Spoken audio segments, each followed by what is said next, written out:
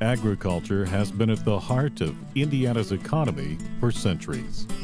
Farmers have taken full advantage of the state's rich, fertile soil, from harvesting crops to raising livestock.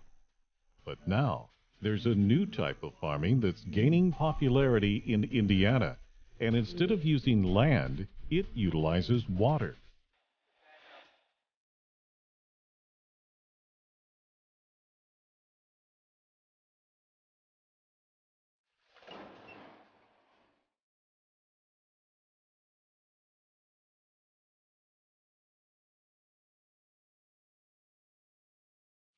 Aquaculture, or fish farming, is the practice of raising and harvesting fish or other aquatic life in a controlled environment.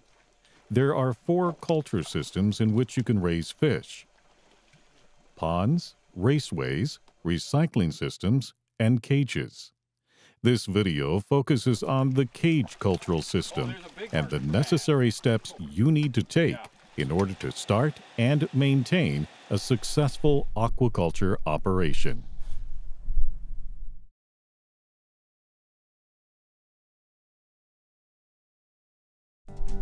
Before investing any capital into a new business venture, it's always best to examine the economics of the industry. Doing thorough market research and developing a marketing and business plan will help put you on a path of profitability. You need to identify the type of markets that are available to you, who the major players are, and the strength of the competition. There are several factors that determine which market will be best for your product, from the size of your operation to the method of distribution, live, frozen, or processed, to the transportation of the fish. The markets are scalable from home consumption to retail sales to wholesale. For smaller cage operations, selling direct to the consumer will usually be the most profitable.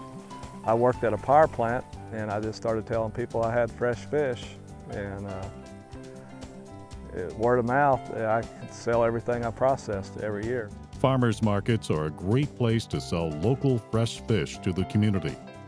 Another potential market is in selling directly to local restaurants, grocery stores, and caterers. Live fish retailers, such as Asian grocery stores, is another market that has a steady demand for live fish. In order to be successful with this market, it's necessary that you cultivate good relationships with the various retailers and area restaurant owners. Depending on the size of your cage operation, selling to wholesalers and processing plants is a possibility.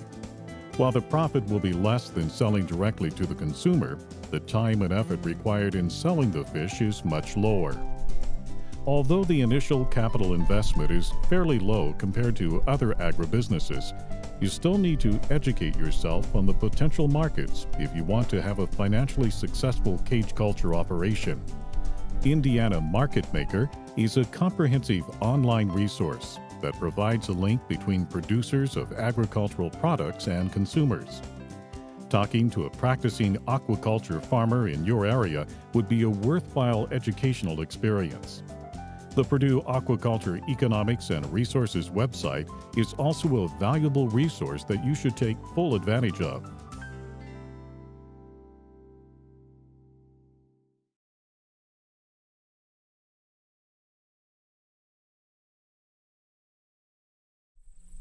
After determining that aquaculture farming is something that you want to pursue, the first step is to locate a body of water that will best suit your needs. Make certain that your site will be able to support the ecological and biological demands that a cage operation places on it. Ponds, lakes, and quarries are all potential sites for cage farming. There are several important criteria to consider when selecting a site. The size of the body of water, the surface should be at least one half acre, but preferably an acre or larger.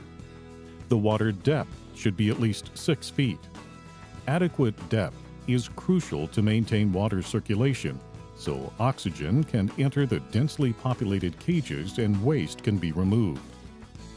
Water quality plays a significant role in choosing a site. You need to determine the watershed of the area. A body of water located near land heavily populated with livestock or crops could be problematic because of the possibility of animal waste and fertilizers draining into it.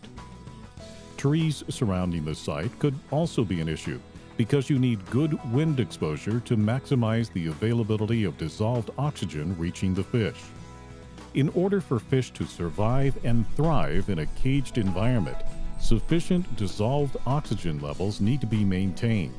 Therefore, selecting a site that has access to electricity will allow you to use aeration equipment that will sustain levels on a consistent basis. The site you select must be accessible 365 days of the year. Make sure the roads can be accessed in any type of weather for feeding, observation, maintenance, and harvest of fish and cages. Access to cages can be either by boat or pier. This should be planned in advance, both for financial and management considerations. Whether the site you select is a pond on your own property or a lake you rent from a landowner, you want to protect your investment by securing your site from poachers.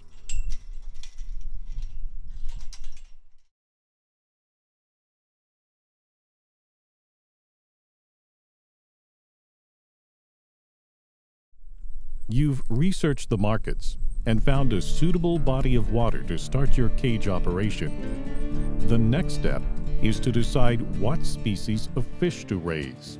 This can seem like a daunting task considering the number of species to choose from.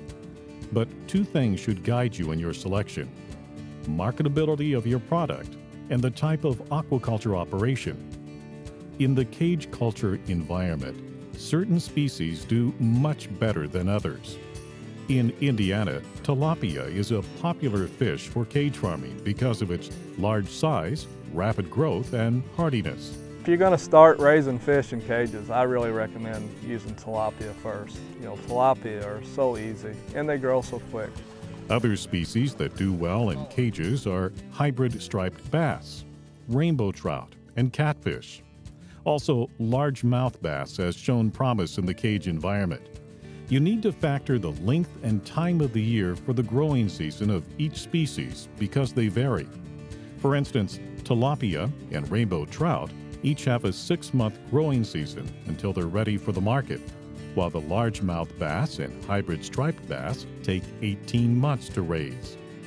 Since tilapia is a tropical fish, it doesn't do well in the cold, so they need to be harvested before the water temperature drops below 60 degrees. Obviously, they won't survive an Indiana winter. Conversely, rainbow trout are cold water fish and cannot handle temperatures above 65 degrees and so will not grow through an Indiana summer. Each species of fish is going to have their own set of guidelines for growing and harvesting. For additional guidance, you can go to the website indianafishfarming.com and or contact Purdue Extension.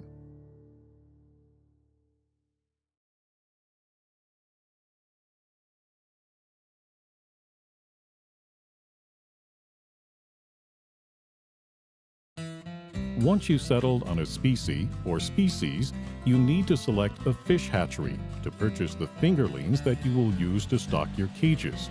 A hatchery is a facility where fish eggs are hatched in a controlled environment.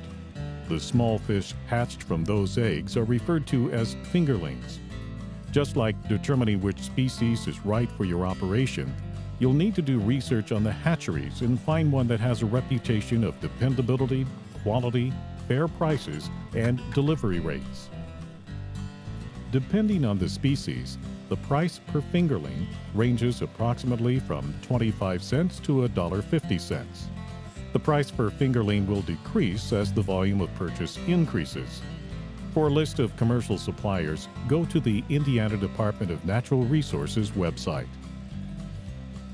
When selecting fingerlings, you want to make sure that they are all of similar size because you want uniform growth in the individual cages. In order to determine size equality, graders are used to separate the fingerlings into common sizes. You want to avoid runts and select fingerlings that are as large as possible. And be sure that cannibalistic species like bass have been feed trained.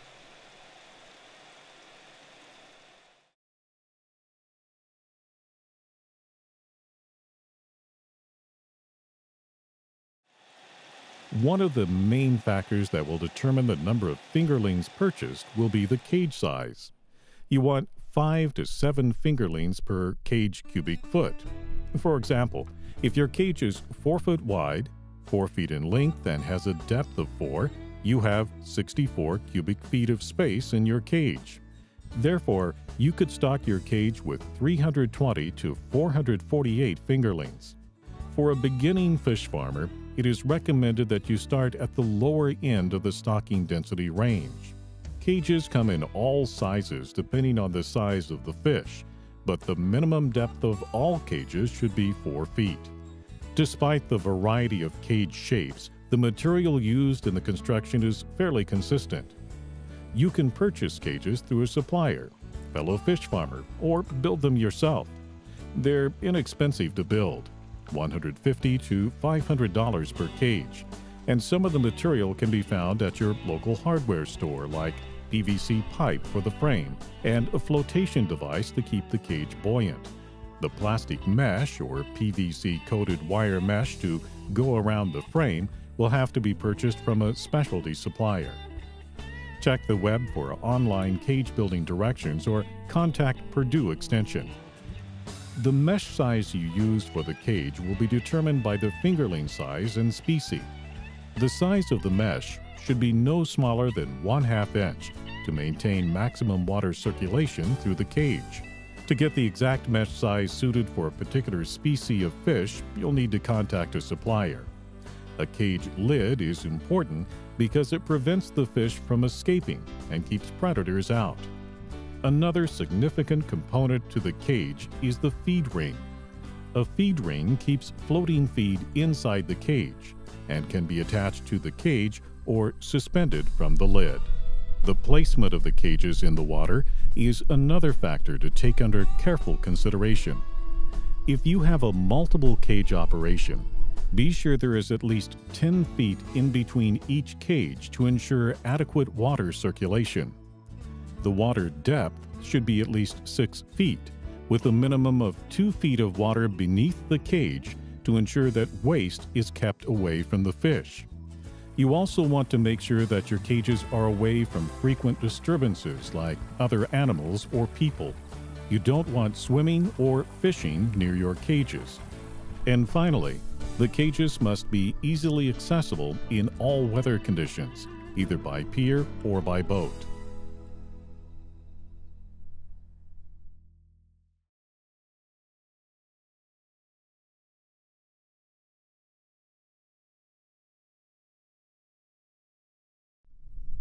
Water quality management is critical to a successful aquaculture operation.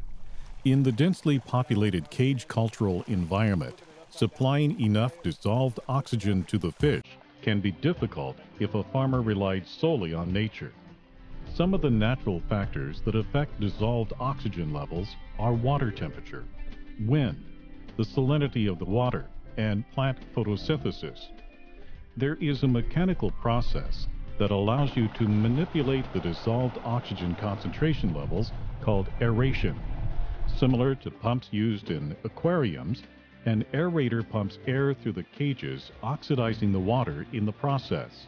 While the aeration will increase the startup cost of production, it is well worth the investment to reduce risk. In cage operations, low dissolved oxygen levels in ponds and lakes is the number one cause of most fish kills poor growth, and disease outbreak. And you, you do need to aerate. You know, a lot of people don't think you need aeration if you got bigger bodies of water, but you, you need water moving through your cages. And sometimes on hot summer days, you know, you don't get a whole lot of wind to get movement. So I really think persons need aerators, especially if you're in the cage culture business. The dissolved oxygen level of the water needs to be carefully monitored, as does the water temperature. Fish growth, reproduction, and sometimes survival are all tied to water temperature. Every species of fish will have an optimal water temperature range for growth. Dropping below that recommended temperature range jeopardizes the survival of the fish. Another issue you need to be aware of is pond turnover. This commonly occurs in the summer when cool, oxygen depleted water at the bottom of the pond is forced by severe weather conditions to the top, replacing the warm, oxygen rich layer. To prevent this natural occurrence, you pump air to the pond bottom and proactively mix the two layers of water. This is called destratification. Water test kits are a must for any fish farmer looking to have a successful operation. Along with measuring dissolved oxygen levels and water temperature, knowing the alkalinity of the water and ammonia levels is crucial. Each body of water is going to have its own chemical makeup. Your job as a fish farmer is to provide an optimal environment for your fish. In order to do that, you need to ensure and maintain the water quality.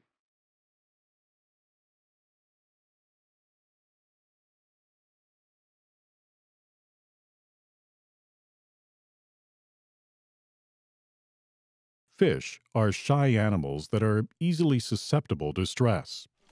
Cage farming is inherently stressful on the fish because of the direct handling in the capturing, hauling, stocking, and harvesting of fish. Overly taxed fish will lead to poor feeding, which leads to stunted growth, so you must take special care and minimize stress whenever handling fish. When purchasing fingerlings, be sure your supply has been properly graded and is disease free.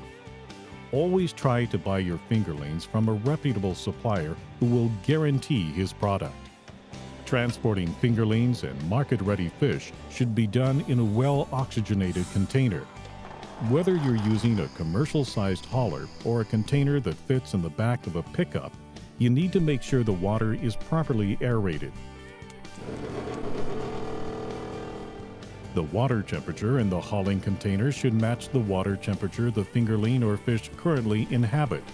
A fluctuation in water temperature can lead to immediate death or diseased fish.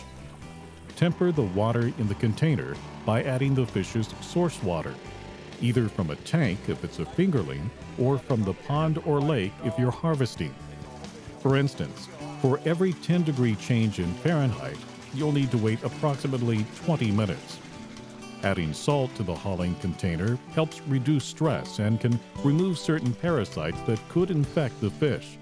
Be sure not to overfill the containers with fish, as it will increase the stress on the fish during transport. Also, keep in mind the longer the travel time, the more stress the fish will experience. Stocking and harvesting the cages is among the most stressful situations the fish will encounter. A well thought out plan on how you'll transport the fingerling from the hauler to the cage or move market ready fish from the cage to the hauler is of utmost importance. Minimizing the number of steps and duration of the process will reduce handling stress. After stocking cages with fingerlings, don't be surprised if the feeding response is less than expected. The fish need to recover from the haul and adjust to the cage environment. Be judicious with the feed for the first couple of days. You do not want to overfeed.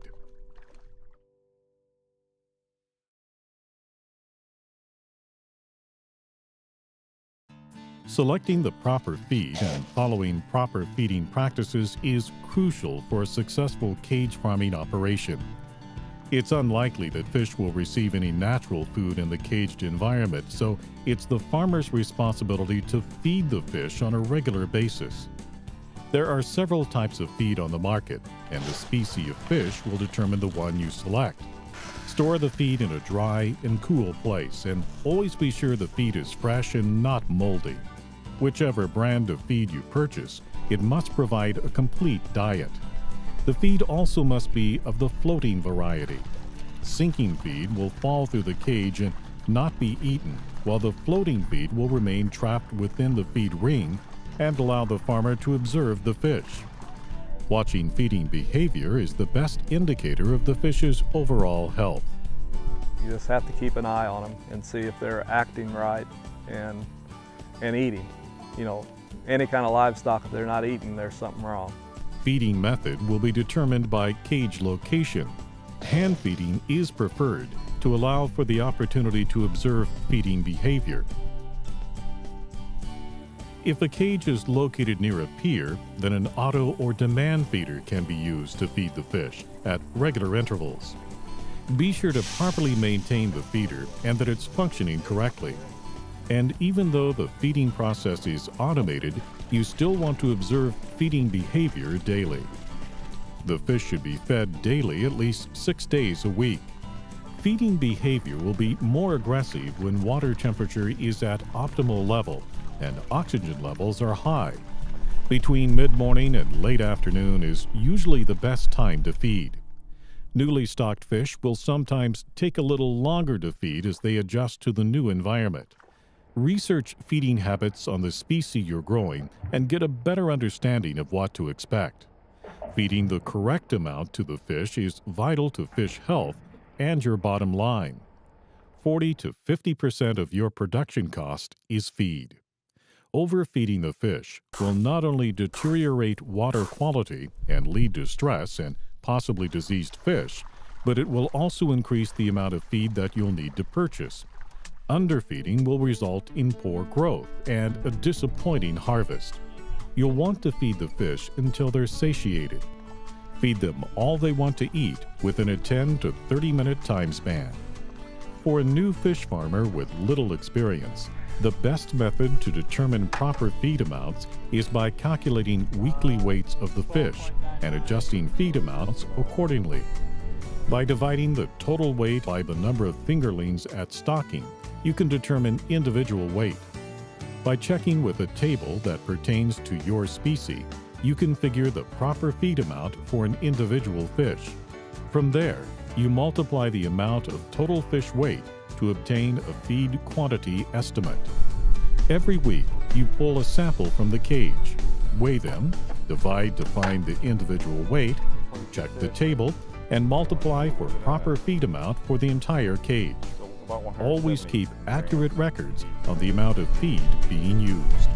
Proper feed amounts play a vital role in the health of your fish, as does constant observation of the feeding response. Observation is crucial in anticipating and avoiding problems. A change of behavior during feeding is an indicator that you may have a health issue that needs immediate attention.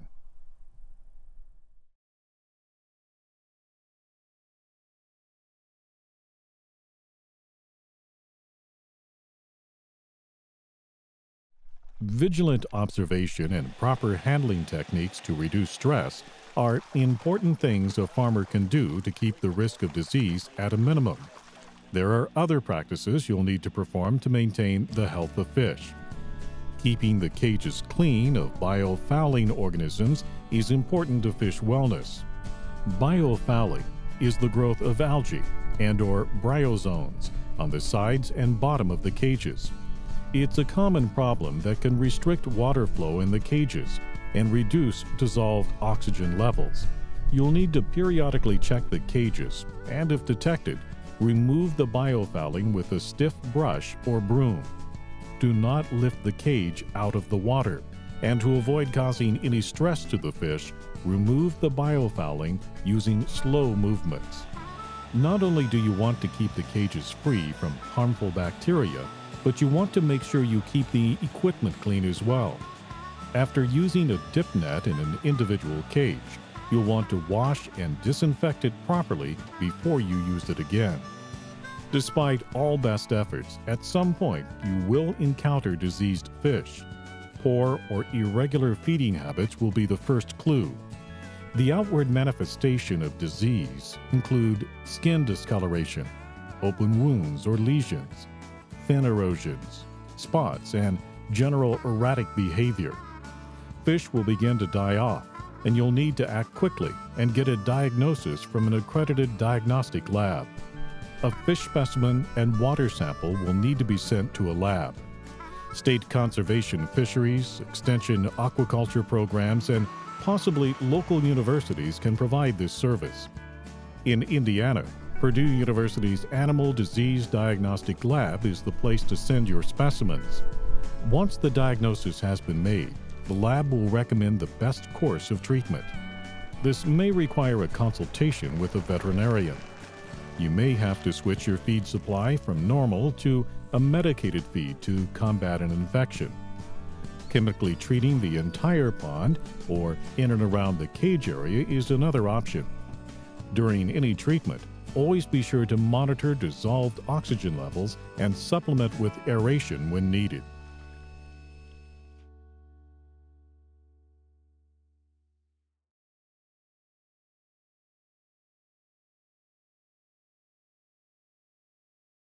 You've made it through the growing season, and now your fish have reached minimum market size. It's important to know that the value of the fish per pound does not increase once minimum market size has been reached. It also works in your favor to harvest the fish as soon as they reach market size to avoid needless risk. Every species growing season will differ in length, and other factors affect it as well, such as weather, size and density of fingerling stock, and time of year. You should stop feeding the fish two days before harvesting in warm weather and up to a week in cooler weather. You do this so food can move through the fish's digestive system before hauling and processing. Excessive waste in the hauling tank can lead to disease and possibly death. Depending on your setup, the process may vary, but it's important to be as efficient as possible in transporting the fish from the cages to the hauler. Keeping stress to a minimum is key to maintain fish health. You'll need to fill your hauler with water from the pond. Add salt to the tanks and turn on the aeration.